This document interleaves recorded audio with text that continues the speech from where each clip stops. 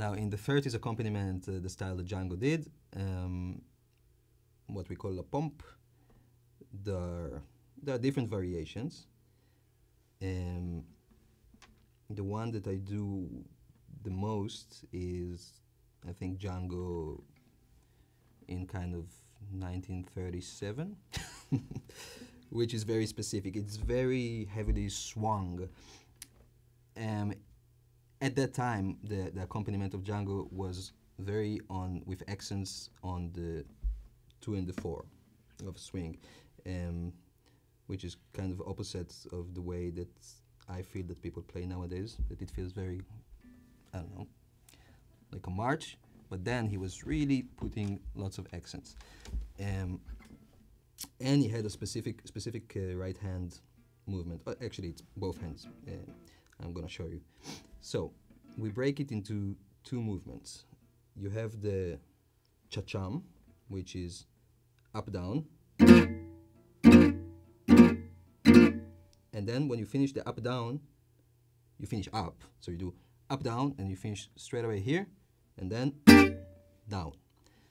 Now, um, the movement of the up down, it should not feel like I said it's two movements, so the, the up down and the down. The two the movement of the up down should not feel like two movements. It's just a shake of the wrist. Is a the nice uh, um, way to describe it is like uh, you take a match and you try to take it off. To take it off anyway. So it's just a shake and then down. Now in the style of Django, the param focused on the on the low strings. If you listen really carefully, you can hear that it's actually like a sometimes a power chord. He's only played these, and then with the taram, and then he falls on the rest of the strings. But not as a rule, not really free and, and free, but you focus on the low and the up. So.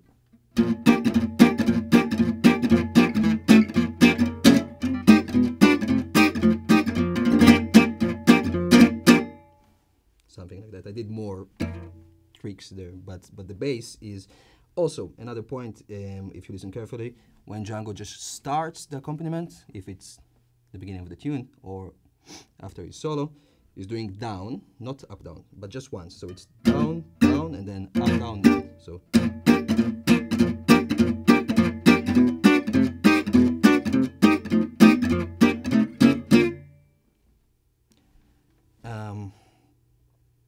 So that that's my my kind of favorite. It all depends. It depends on the tune. Um, but again, Django did it when, when you listen to the very early stuff, especially when they play fast. It's just just down, down, down, down, down, and everything the same. And when it plays fast, it gives you a really nice effect. Um, I would say that it, it feels like you have a floor, and then the, the solo kind of bumps over it. So it feels very comfortable for the soloists, which is the important part. Um, another point is we, each soloist will have a different preference. He will like something else. So you, as as uh, the company guitar, part of your job, I guess, to to ask him and to see what he likes.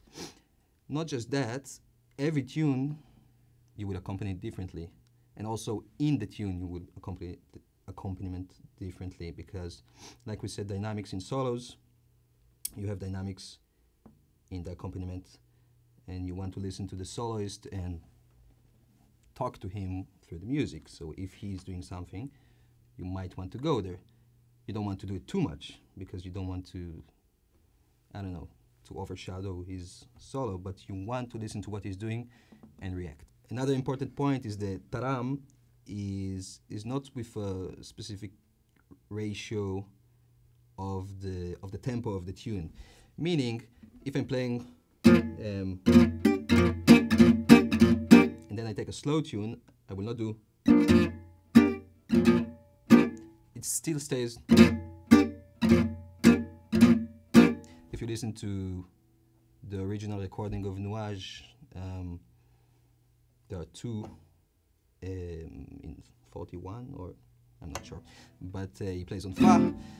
It's a really good example of yeah. So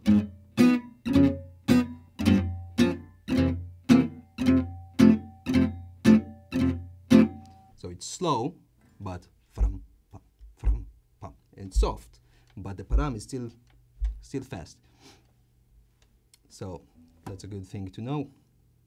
Now with the dynamic of the accompaniment in the in the tune, I said that you will not play similar over the tune, you react to the other musician, but also Django very often in the second part of the 30s uh, will start shuffle um, maybe in the last third of the tune or, or in the like when you just when you want to push it to 11 so when the soloist uh, gets excited and then they take another round and then he's doing his shuffle which is basically the param the up down every time so it's up down and up down also on the higher string so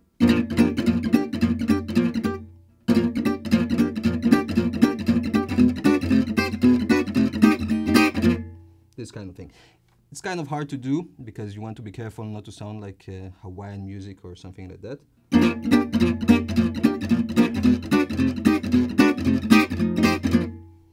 That's so basically param, param, and we're alternating between like before on the lows and on the highs, but same movement.